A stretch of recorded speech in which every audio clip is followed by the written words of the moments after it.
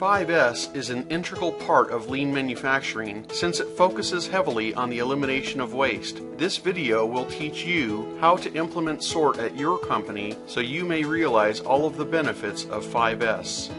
In review, the 5 S's are sort, set in order, shine, standardize, and sustain in that order. We will focus on sort for the remainder of this presentation. Everyone can relate to a messy garage, and that can be compared to our workplace. We gather too many things over time, and pretty soon we can barely walk around. We spend way too much time searching for the things we need, and sometimes we can't even find them. When we have to complete a project in messy conditions like this, it becomes very difficult. Not to mention how frustrating it would be to work in these conditions, or how easy it might be to get injured. Many managers tolerate these conditions in the workplace because they do not understand the extent of the waste and the consequences involved. In order to clear the clutter from your area, you have to define what is needed in the immediate area.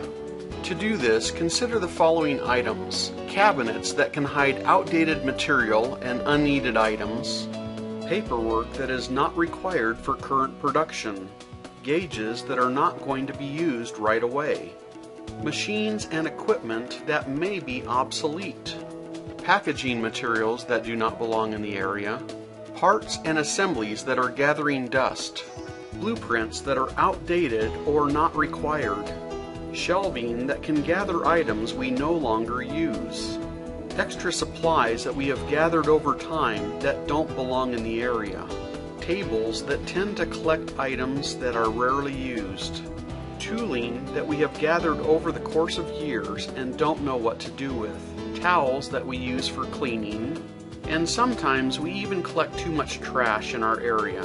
Let's create a department we can use as an example that needs to be sorted out. In this department we have machines with workbenches at each machine, employee-owned toolboxes, supply cabinets, plenty of work in process at each machine, chairs for the employees to sit on, trash cans at each machine, pallets for putting completed parts on, and probably a forklift to move all of the work in process. This example is fairly typical for a department in a manufacturing company. This was just a preview for our new XtremeLean 5S DVD series, which will take you through each stage of the 5S process, where we take the time to explain how you can improve or implement that stage in your workplace. The entire video is 41 minutes and can be purchased at www.xtremelean.us. If you want to become lean, start with 5S today.